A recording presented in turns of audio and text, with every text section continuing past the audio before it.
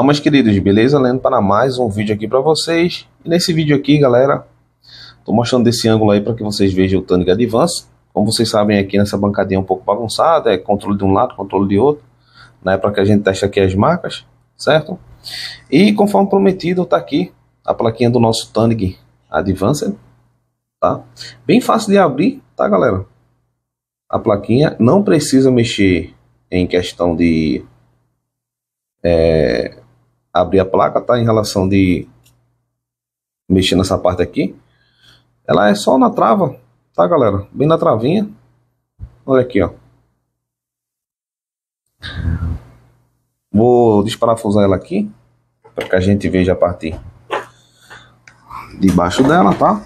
Vamos dar uma, uma olhadinha, certo?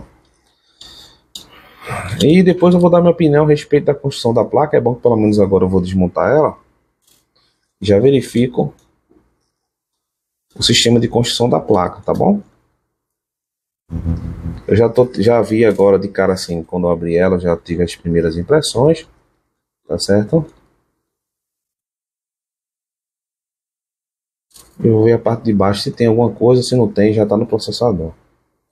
Geralmente essas placas Aqui a M-Logic ela já já tem uma surpresinha bem interessante.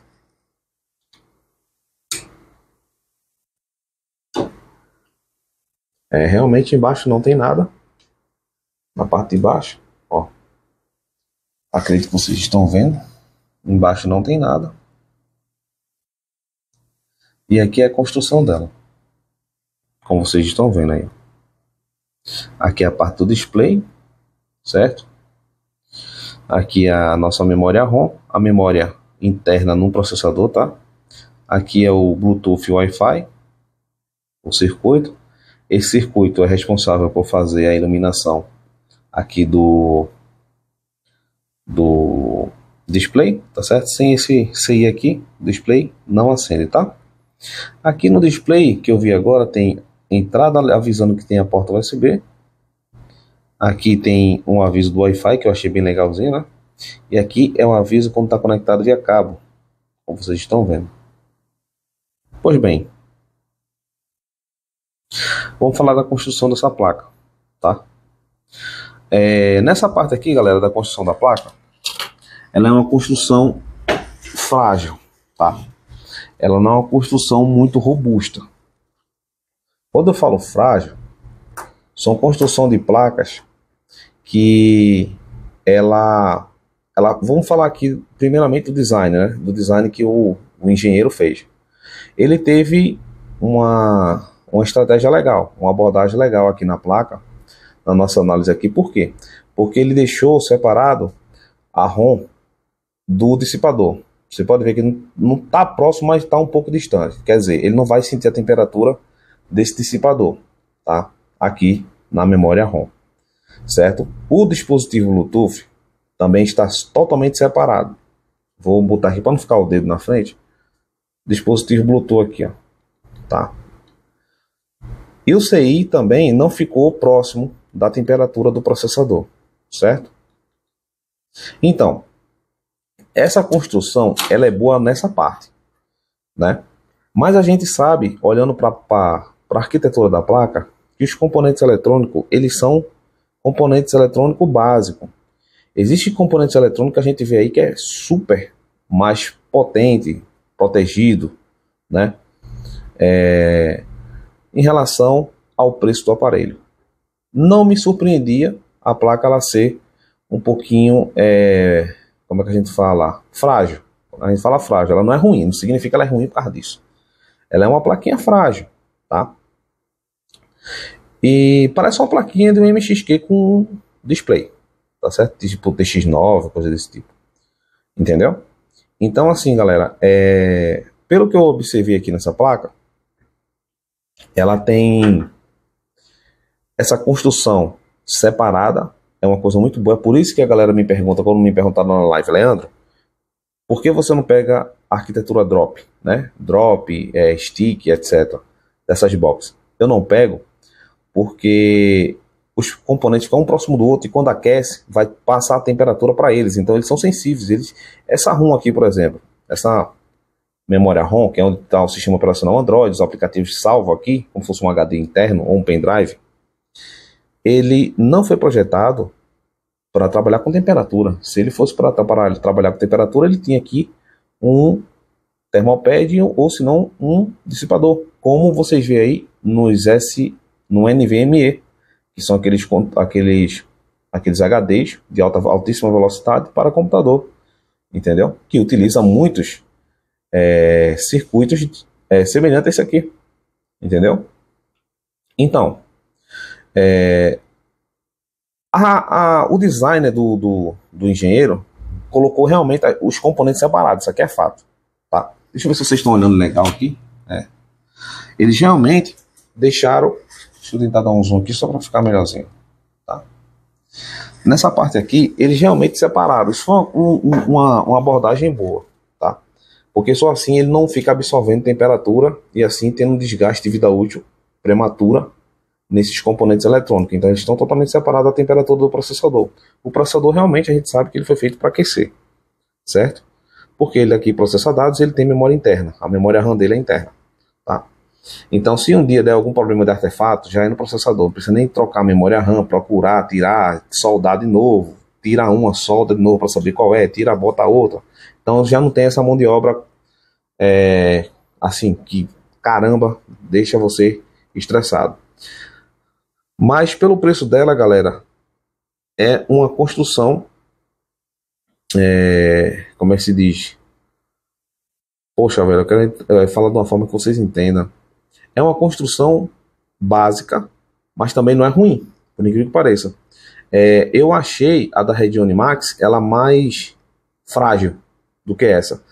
A Region Max ela é menorzinha, mais fininha, e quando, por isso que foi uma das coisas que eu fiz aqui, ó, a primeira coisa que eu fiz foi tentar entortar ela, ó, ela não entorta. Então realmente essa parte aqui do chassi, ó, entendeu? Ele é, ele é grosso, entendeu? Já na Redione Max, se você não tiver cuidado, você faz assim, ela vai junto. É uma das coisas que a gente tenta fazer aqui, não vai, ó, ó, não vai, ó, não entorta. Isso é um ponto positivo, entendeu? Então, olhando assim nesse cenário, a gente vê que pelo preço dela, é uma placa que, com a distância dos componentes eletrônicos, processador no centro e os componentes desse lado, é uma placa que não está projetada para queimar fácil. A não ser que seja por um super hiper aquecimento, entendeu? Que danifique componentes eletrônicos aqui.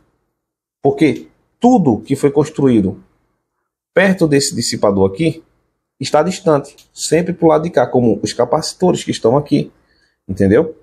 Deve ter aqui no máximo, acho que uns, uns dois capacitores aqui embaixo, né?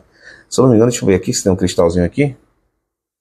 Se eu não me engano, aqui embaixo tem um cristalzinho. É porque não dá para olhar aqui por causa do dissipador. Mas claro que se ele está aqui embaixo, o projetista, engenheiro, sabia que isso aqui aguenta a temperatura. Entendeu? Então, galera, o nosso foco aqui sempre é se basear na ROM. A ROM e memória RAM. Memória RAM já não tem. Então, isso aí, graças a Deus, você já não precisa se preocupar. A memória ROM está distante. É outro ponto. Ela não está agarrada, bem colada com o dissipador. Então, vai, vai rodar com bom desempenho. E querendo ou não, isso também é um mini processador que trabalha com velocidade. Tá? Então, ele quente também tende a tirar o desempenho do equipamento, certo? O dispositivo Bluetooth que pode entrar em curto e, e, quando ele entra em curto, ele trava o aparelho, desliga o aparelho também, ele está distante. Então é mais difícil ele chegar a dar defeito. Entendeu? E o CI está aqui distante. Então, com a temperatura distante, é mais difícil dele alterar. E o display, que é essa telinha aqui que vocês sabem, o display provavelmente vai funcionar por mais tempo. Porque quando esse CI está próximo, ou meio de lado aqui mais ou menos, com a temperatura, às vezes ele começa a falhar aqui o displayzinho. Entendeu? Porque a temperatura tá é, a temperatura do processador está atingindo o CI. E outra coisa, o display aqui dele está distante do processador, então ele tem uma placa durável. Só é frágil, tá, galera? Tem uma construção básica, acho que daqui a um dia, para ser bem sincero, vai ter um processador. Escreva o que eu estou dizendo, viu? Daqui um dia vai ter um processador que vai ter tudo isso aqui. O processador vai vir com a ROM dentro, dentro né, que já está com memória RAM. Daqui a pouco a memória RAM vai estar tá aqui dentro do processador. Daqui a pouco a parte Bluetooth Wi-Fi vai estar tá aqui dentro. Entendeu? E daqui a pouco essa parte do CI vai estar tá aqui dentro do processador. Isso aí é a evolução da tecnologia. Vai estar tudo trabalhando em nanômetros aqui dentro. Cada um compartimento dentro do processador vai, vai trabalhar ali e gerenciar. Certo?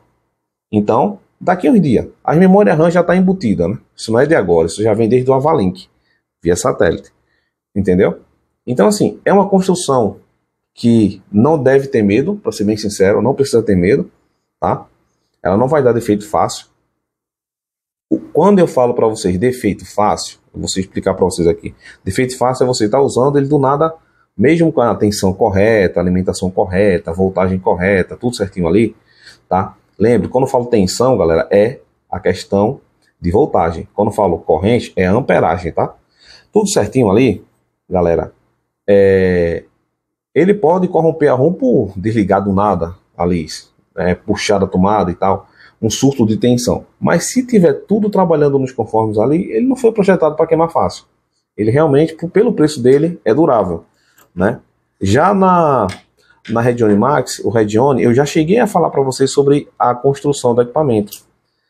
E cheguei a avisar para vocês de como era, né? Assim, em questão de alertar, eu cheguei para alertar vocês, eu disse, galera, esses componentes aqui dessa placa, eles são muito sensíveis, tá? Então vocês têm que ter um pouco de observação nessa parte, entendeu? Então, realmente, a construção dessa placa é até legalzinha. Ela tem um espaço aqui também, claro, semelhante da Redione. Não é a mesma placa, tá, galera? Não, não mistura as coisas, tá? Ele tem um calço aqui também, ó, para deixar numa altura para que a temperatura ambiente entre por baixo e esfrie um pouco a placa, mas eu recomendo, mesmo assim, galera, vocês colocarem um cooler, tá? Ou colocar em ambientes arejados, tá certo? Para que aí vocês consigam colocar é, a placa desse aparelhinho tá? Para rodar, tá bom? Então, galera, eu acredito que não tem mais nada para mostrar para vocês. Se vocês tiverem alguma dúvida, deixe nos comentários, tá certo? Deixe aí nos comentários. Mas eu acredito que deu para passar uma boa, uma boa conjunto de instruções para vocês. E mostrando aqui mais uma vez como é a placa do Tanig Advanced. Tá certo? Pelo preço dela, a construção tá boa. É uma S905X, tá vendo aqui? Essas coisas que a gente fica olhando para saber qual tipo do processador para poder instalar ROM. Não é vendo lá, meu processador é um A53, A55, vai nessa onda? Todos são A50 e pouco. A questão é aqui, ó, ó WX3 S905X. Isso aqui, galera, é onde você já pesquisa ROM. ROM WX3 para S905X. É assim que se instala ROM. Vai pensando nesse negócio de, ah, vou procurar uma ROM A57. Vocês nunca vão encontrar na vida tá? Galera, se vocês gostaram, deixa aquele like, galera. Isso é o maior trabalho para fazer isso aqui, por favor, tá?